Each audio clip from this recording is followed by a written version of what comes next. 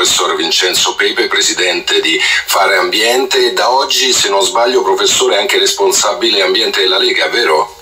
Sì, sì, da, proprio da, da, oggi.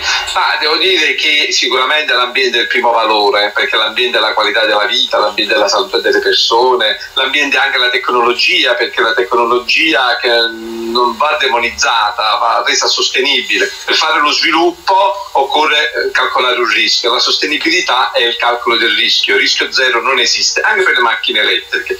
La transizione, tutti vogliamo la transizione per la qualità della vita, ma la transizione comporta comporta un tempo ed è anche un fatto culturale. Pensare che domani mattina noi elimineremo, e bisogna eliminare o quantomeno ridurre le emissioni di CO2 in atmosfera, se non altro non tanto per il cambiamento del clima, ma per la salute delle persone, questo va fatto nei tempi giusti, ovviamente avendo anche le risorse sufficienti senza gravare poi sui consumatori, sui cittadini che sicuramente da soli non possono sopportare questo onere. Personalmente, l'addio dei motori termini, de, l'addio dei motori termici entro il 2035 può in qualche modo rischiare di strangolare le, l'economia, no, Assolutamente, questo è, è, un, è, un, fondamentalismo ideologico che purtroppo anche l'Europa molte volte lo cavalca, bello, romantico, ma non è molte volte fattibile, non è realizzabile. Io, guardi, noi non dobbiamo essere né catastrofisti né negazionisti, dobbiamo essere sostenibili,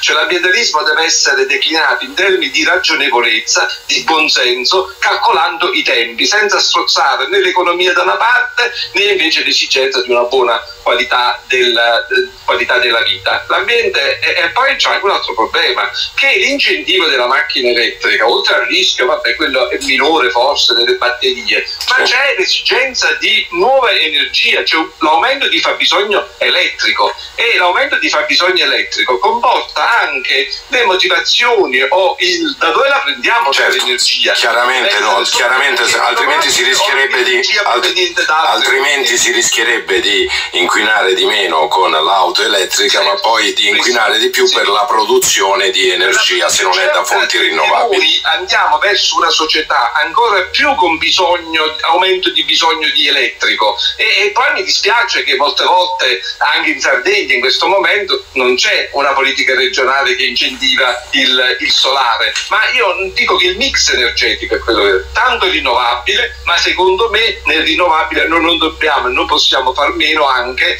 del, del, nucleare. Mi rendo conto che questo è contro un fondamentalismo ideologico, ma io anche da ricercatore, da professore, devo dire incentivare la ricerca sul nucleare, se non altro anche per la medicina. Grazie al professor Vincenzo Pepe, appena nominato responsabile ambiente della Lega.